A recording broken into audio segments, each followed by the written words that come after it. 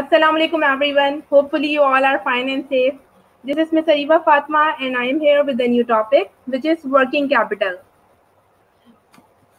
Beta, uh, it is a, a, very important lecture uh, in the examination point of view, so listen it carefully. Uh, so first of all, I would like to explain you that what is working capital. Okay. Before uh, explaining the definition, I would like to explain you the background of it.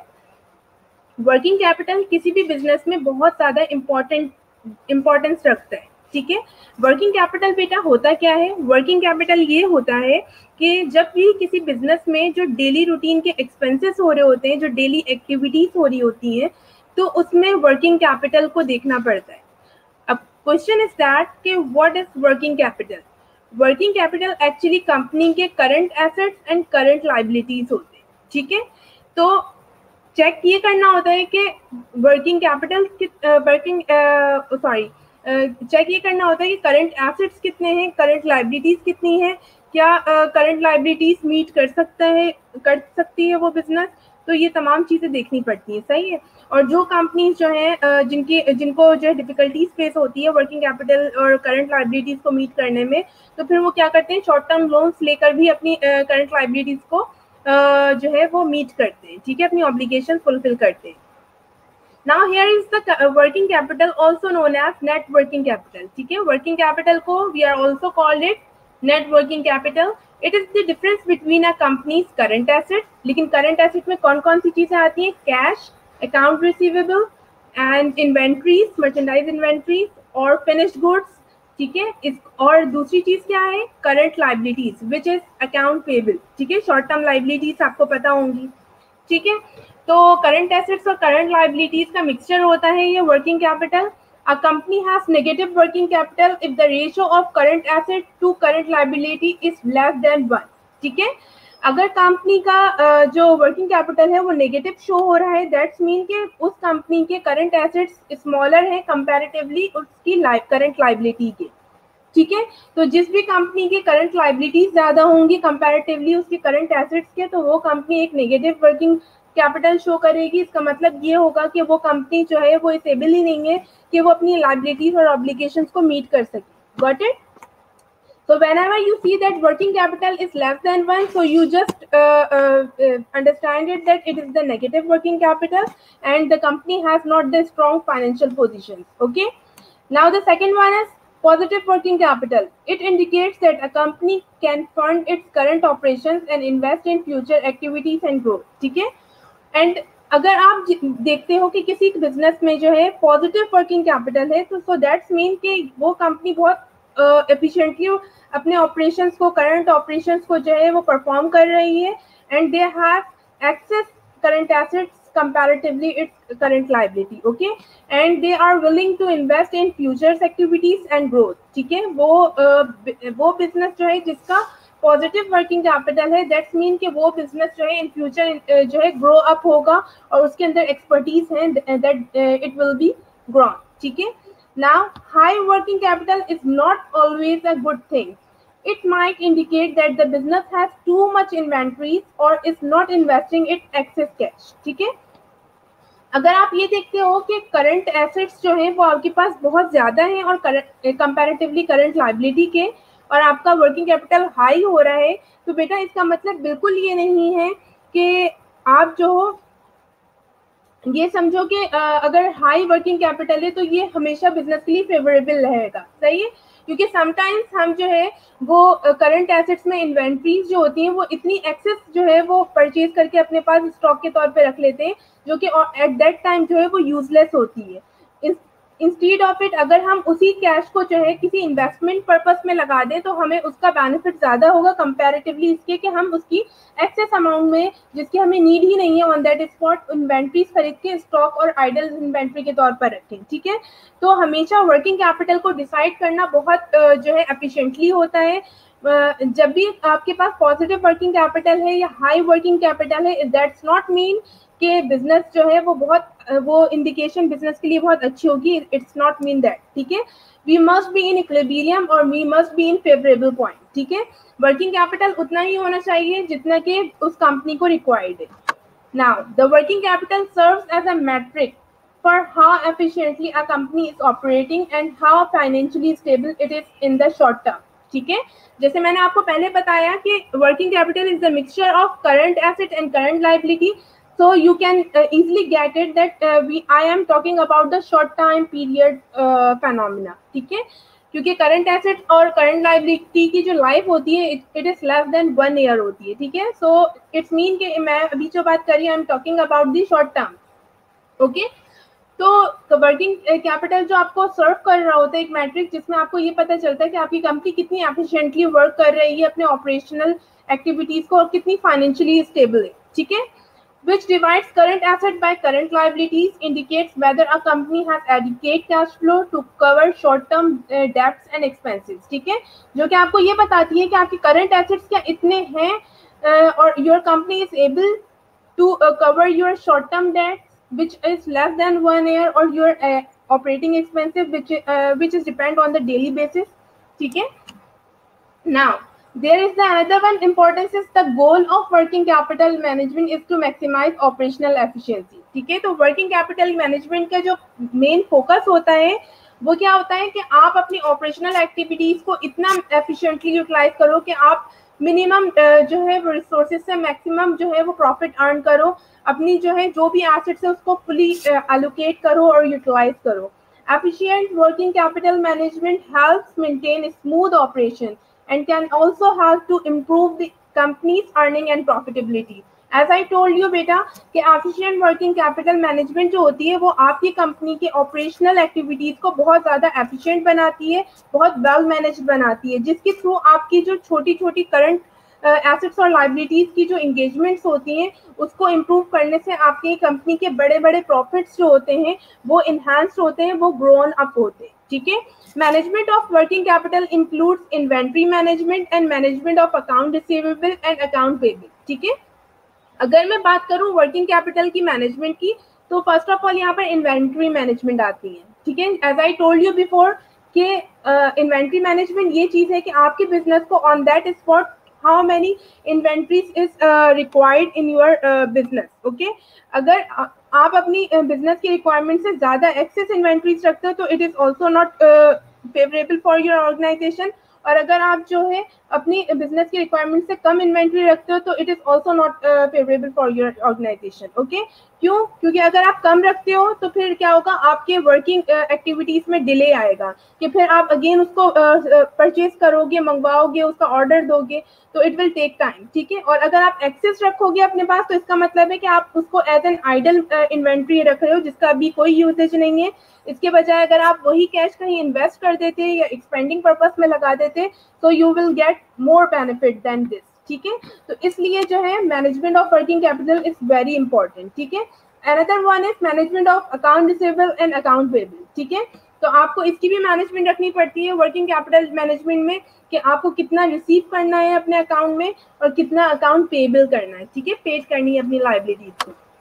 Now there are some kind of working capital they are permanent working capital regular working capital reserve margin working capital, variable working capital, seasonal working capital, special variable working capital, gross working capital, and the last one is net working capital. Okay?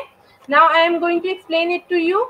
So the first one is permanent working capital. It is that portion of, of the working capital that remains permanently tied up in current assets to undertake business activity uninterruptedly. In other words, permanent working capital is the least amount of current asset needed to carry out business effortlessly. Thus, it is also known as fixed working capital.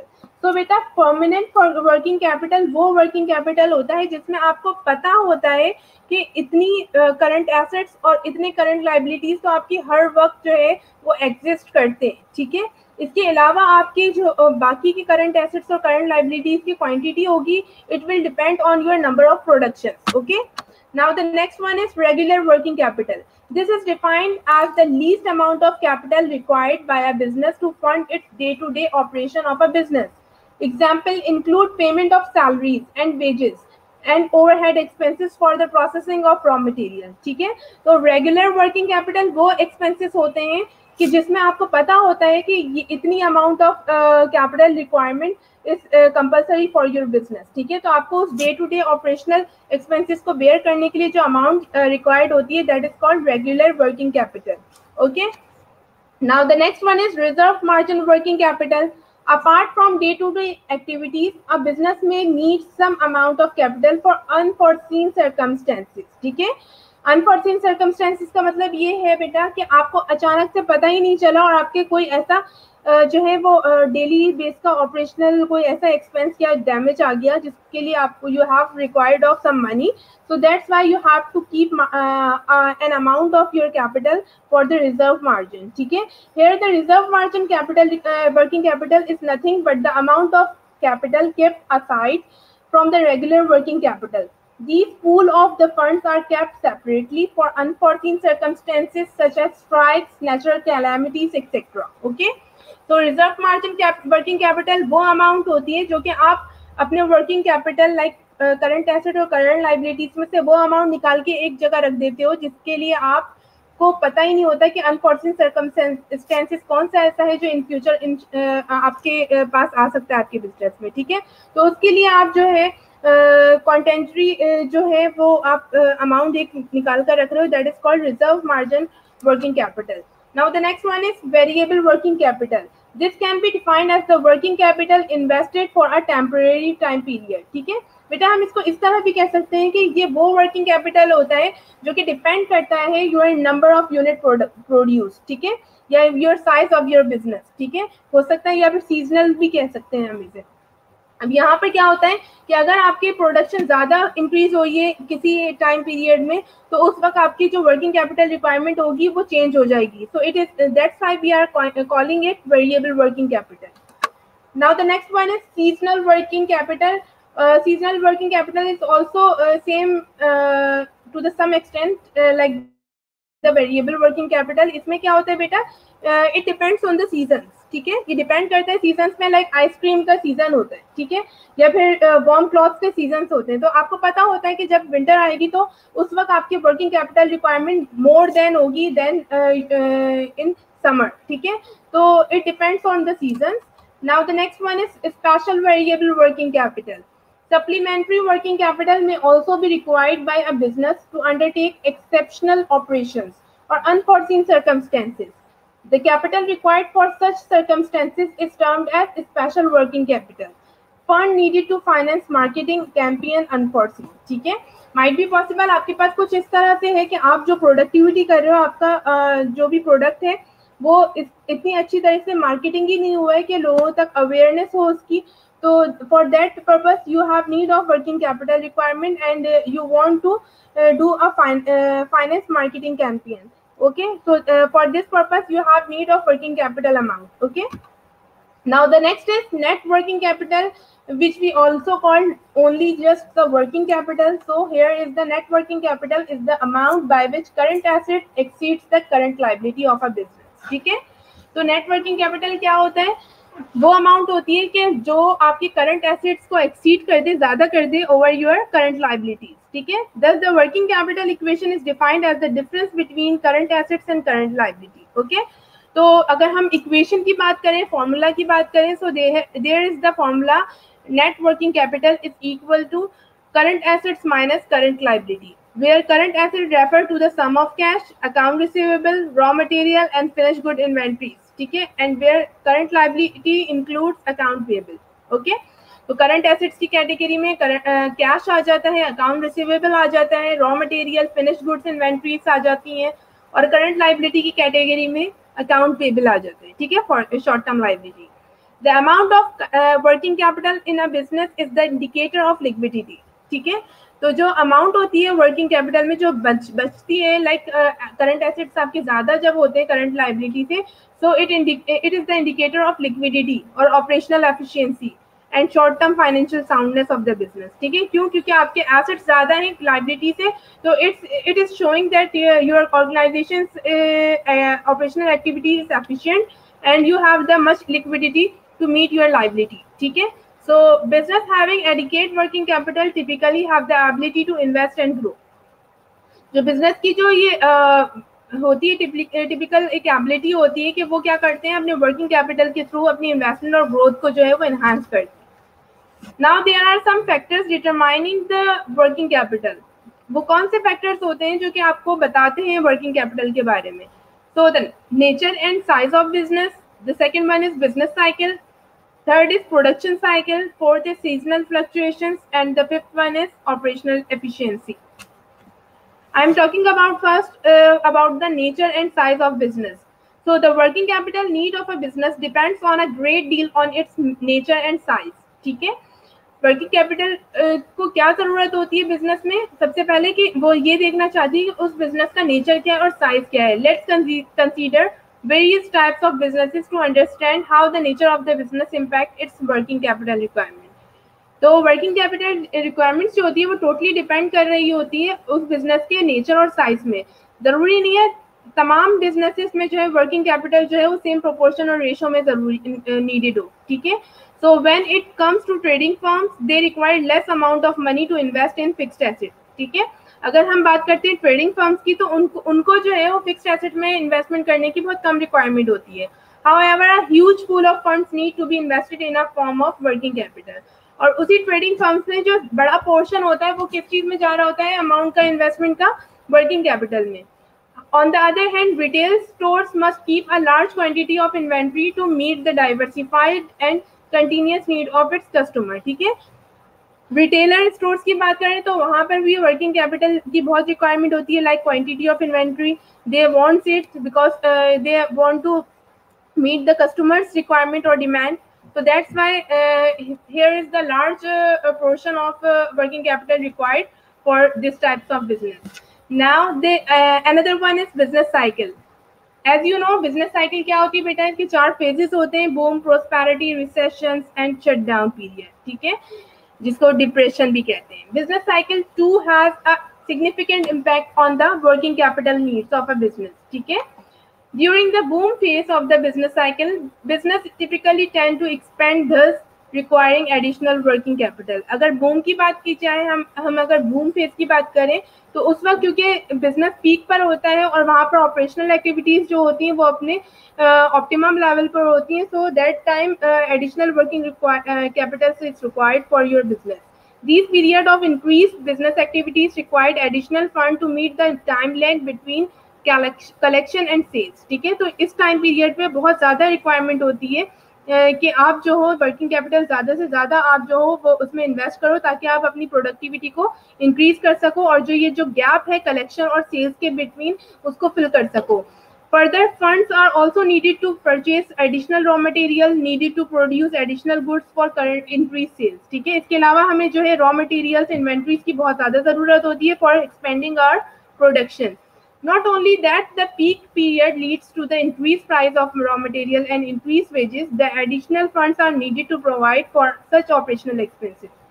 तो सिर्फ़ और सिर्फ़ जो है peak period जो है वो prices of raw material और वेजेस को इंक्रीज नहीं करता बल्कि अदर फैक्टर्स भी होते हैं जो इस चीज़ को इस पे डिपेंड हो रहे होते हैं Now the third one is production cycle. Production cycle also known as operating cycle is the time difference between the conversion of raw material into final product. ठीक है तो प्रोडक्शन साइकिल एक्चुअली जो है वो आपको एक टाइम पीरियड देती है जिसमें वो रॉ मटेरियल को कन्वर्ट करती है फाइनल और फिनिश गुड्स में this too impact the working capital requirement of a business to a greater extent Businesses with longer production cycles need more working capital to fund its operational activities. Therefore, firms adopt various measures to reduce their production cycle in order to minimize their working capital requirement. Okay. Now, the fourth one is seasonal fluctuation. There are certain businesses that are seasonal in nature ठीक है? बहुत सारे business ऐसे हैं जो कि season wise जो है वो अपना पीक फैक्टर जो है वो अटैम्प करते हैं। This means there is a high demand of for their goods during a specific period of the year ठीक है? तो इसका मतलब यही है कि इनका कोई एक टाइम पीरियड आता है जिसमें इनके गुड्स की जो डिमांड होती है वो बहुत ज़्यादा इंक्रीज हो जाती है।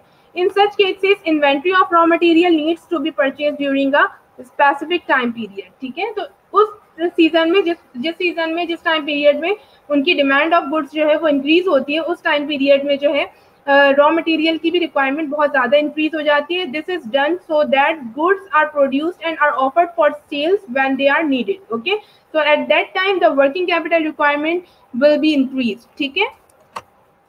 Now there is the fifth one operational efficiency. Various businesses operates on different operational efficiencies ठीक है? Different businesses हैं जो डिफरेंट ऑपरेशनल एफिशिएंसीज रखते हैं, ठीक है? Thus the operational efficiency of a business depend on various factor this include short production cycles that involve less time to convert raw material in finish goods एक operational efficiency ऐसी है जिसमें आपको production cycle बहुत short time period की रखनी पड़ती है और आपको जल्द से जल्द जो है रॉ मटेरियल को कन्वर्ट करना होता है फिनिश गुड्स में।